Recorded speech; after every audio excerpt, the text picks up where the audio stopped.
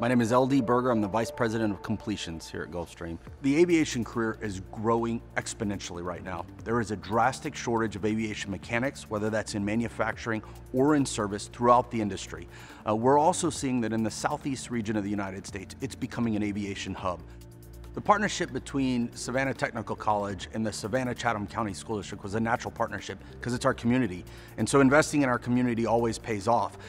Every student will take our Aircraft Assembly Technician 1 certificate and we have a composite certificate. One reason we decided on that pathway for all 10th graders is no matter what you ever decide to do the rest of your life in aviation, that was a skill set you always will use. Sheet metal is always going to be there, and composites are the new big thing that are coming into aviation. So it's a skill set that that individual will always use.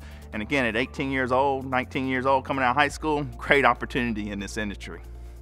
One thing nice about this program is the uniqueness of the program on dual enrollment. So the student never has to leave Groves High School.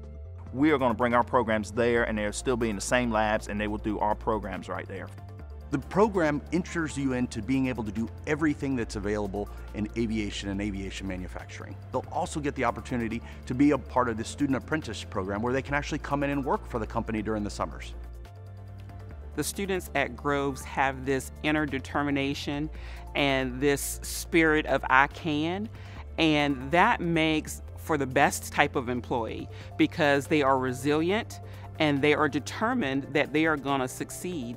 My hope is that students from this experience will gain a passion a passion for aviation, a passion for Gulfstream, and a passion for their community. So I hope that this program serves as the seed to kind of grow that passion, get the basic skills they need, and then come to Gulfstream and really blossom that into whatever they want to do throughout their career.